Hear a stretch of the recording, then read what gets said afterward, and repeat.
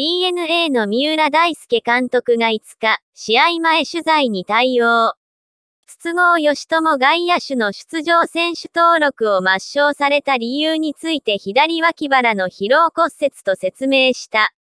筒香は4日のヤクルト戦、横浜の練習中に幹部に違和感を覚え、チームドクターの診察を受けて診断された。本日からリハビリ組に合流。指揮官は、本人もチームに貢献したいという中で、まだ無理する時期ではない。いずれ無理してもらう時期が来るから、今しっかり直して備えてくれ。お前の力が必要だからまずはしっかり直してくれ、と声をかけたと明かした。4月中旬にフルス復帰し、5月6日のヤクルト戦、横浜から1軍に合流した。ここまで38試合に出場し、打率2割6厘、6本塁打、18打点の成績。